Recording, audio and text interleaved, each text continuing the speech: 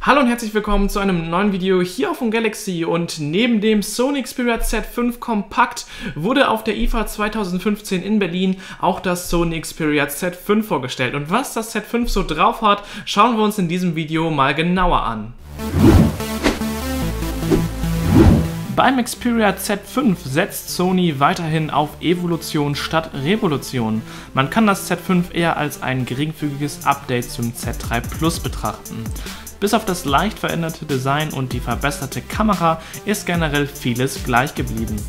So kommt auch das Sony Xperia Z5 mit dem gleichen 5,2 großen Full HD IPS Display und einem Snapdragon 810 mit einer Taktung von 4 x 2 GHz daher. Auch der Arbeitsspeicher bleibt mit 3 GB ebenso wie der 32 GB interne Speicher gleich.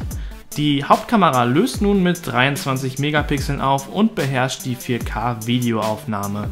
Neu ist ihr Hybrid-Autofokus, der eure Bilder blitzschnell fokussieren lassen soll und dies hat auch im ersten Test bereits gut funktioniert. Das Design setzt nun bei der Rückseite auf eine mattere Verglasung, die es den altbekannten Fingerabdrücken definitiv schwerer macht. Der Rahmen ist farblich angepasst und besteht immer noch aus Metall. Er trägt nun einen eingravierten Xperia-Schriftzug. Eines der größten Neuerungen ist sicherlich der nun integrierte Fingerabdrucksensor im Powerbutton auf der rechten Seite. Auf der linken Seite jedoch ist unterhalb einer kleinen Kappe wieder der Micro-SD-Kartenslot und ein SIM-Kartenslot versteckt worden. Die Front wird durch eine 5 Megapixel Kamera geschmückt und beherbergt darüber hinaus die Lautsprecher. Beim Akku gab es diesmal leider keine Verbesserungen und somit greift das Xperia Z5 auch diesmal wieder auf eine 2900 mAh starke Batterie zurück.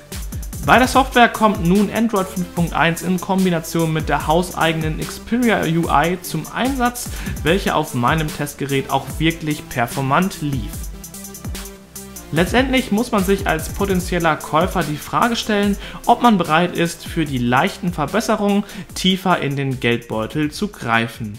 Den aktuellen Preis habe ich euch deshalb in der Beschreibung verlinkt.